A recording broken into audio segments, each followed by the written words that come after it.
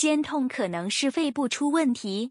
台湾一名六十七岁男子经常现肩痛问题，试过多种方法缓也无效，求医检后证实患上肺癌，并已扩散，导致长期肩痛。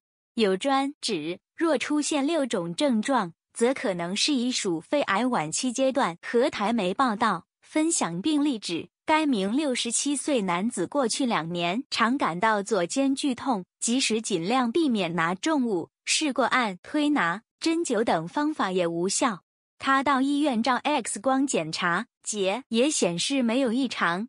同厂家应他多年前曾患肺结，以为因而导致肩痛，故往医院接受电脑断层扫检查肺部，最终发现曾患肺结核的左上肺部有颗约八厘米大的肿瘤，并影响左肩骨，导致肩膊剧痛。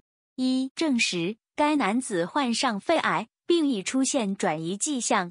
根据港癌症资源中心资料，肺癌早期症状一般较难现，患者往往在癌症到达中期或晚期时才发现。请患上肺癌会出现什么征兆？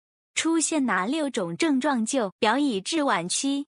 该院主任医生蔡聪聪表示，肺癌转初期会侵犯邻近的淋巴腺、泪膜及泪膜腔。肋骨部位再转移至远处器官，转移至骨头风险最高。两层患上肺部疾病，有其他因素也会导致肺癌。港医管举止，以下家居或环境因素也会增加患癌风险。蔡医生以上述个案讲解原因。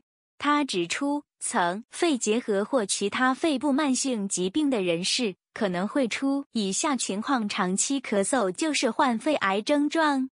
耳鼻喉科生陈亮宇曾表示，感冒引发的咳嗽一般在一周内愈。如果咳嗽时伴随胸口痛、易闷等情况，或咳出丝血块，甚至咳嗽持续超过三周仍未好转，就应尽求医。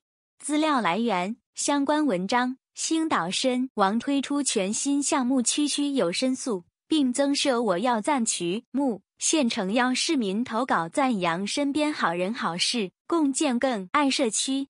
立即我要赞取享地更多精彩内容，请立浏览区区有申诉活动专业。星岛头条 App 经已推出新版本，请立即更新浏览更精彩内容。